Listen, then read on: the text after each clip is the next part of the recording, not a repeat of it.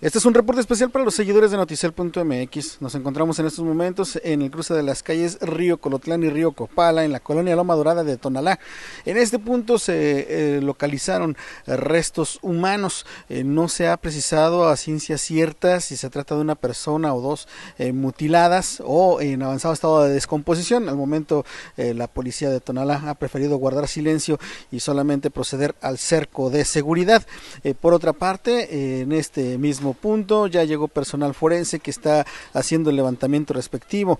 Eh, esto ha tomado por sorpresa a los habitantes de este punto que no han podido eh, pues eh, hacer sus actividades de manera cotidiana como están acostumbrados por el cierre de la calle.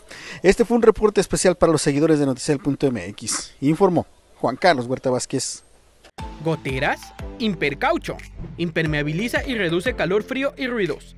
Fabricado 100% con caucho reciclado. Aprovecha dos cubetas con protección de 12 años por solo 999.